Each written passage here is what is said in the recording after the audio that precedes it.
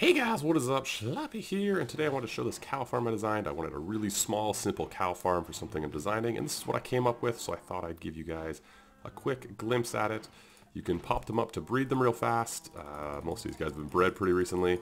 And then basically using the piston mechanics, uh, you can pull out the baby cows and drop them into a pit, and there we'll funnel them to a lava trap or something.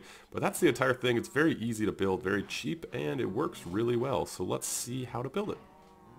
Alright, so everything you need is in this chest. Uh, these are just two separate blocks to put redstone on. I like to use glass so you can see the cows.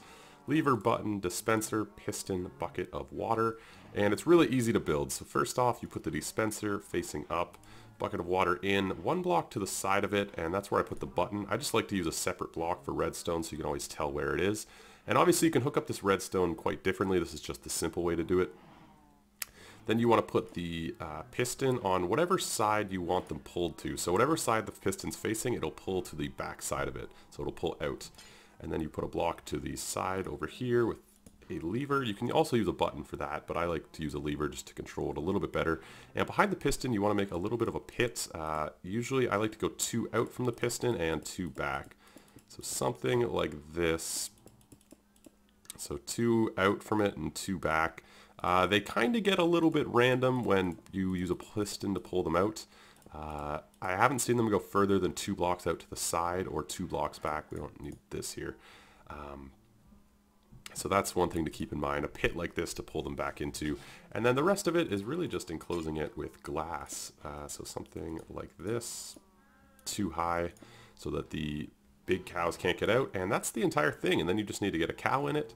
Uh, you can even just have two cows in it if you're having trouble getting the cows in, and then you can breed these guys real simply. You can just breed them and just don't pull them out um, until you have enough cows to be happy with. So you can just breed them, let them grow, and then once you have enough cows that you're happy when you breed them, you just use the piston, and it pulls out the baby.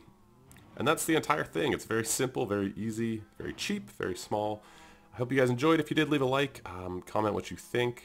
Uh, obviously, there's all kinds of traps you can use to kill the baby cows. A lot of people like to let them grow. You put a lava slice at the top and then they get burned and you get steak and whatnot. Uh, but it's very easy, so thanks for watching. Like, comment, sub, all that good stuff, and I'll catch you guys next time. Ciao!